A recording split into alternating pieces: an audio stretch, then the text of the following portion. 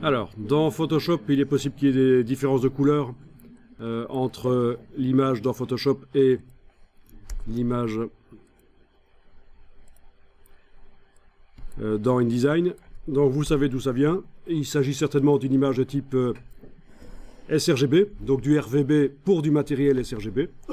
Et actuellement, Photoshop ne sait pas pour quel matériel c'est fait. quand vous allez en bas à gauche ici et que vous avez choisi de, que le cartouche ici montre quel est le profil du document, euh, vous euh, voyez que Photoshop ne sait pas pour quel matériel c'est prévu, donc il prend les valeurs RVB des pixels et il les envoie directement sur mon écran. Et en fonction de chaque écran de chacun, j'aurai une image qui va apparaître différemment.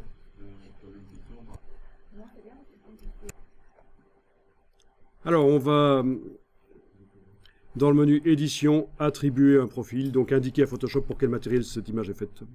Édition attribuer un profil et j'attribue le profil sRGB. Voilà, tout de suite on voit que les couleurs changent et que ça a l'air un peu plus euh, correct.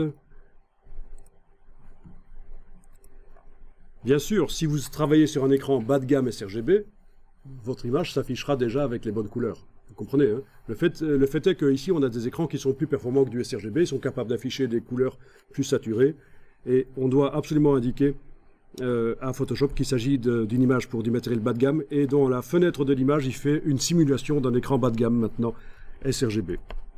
la norme de fabrication des écrans pour les internautes, le grand public.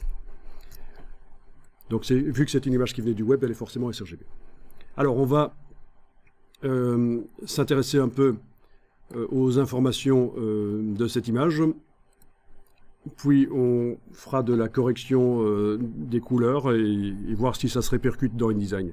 Donc d'abord, une des premières choses qui m'intéresse, c'est d'aller voir la taille de l'image.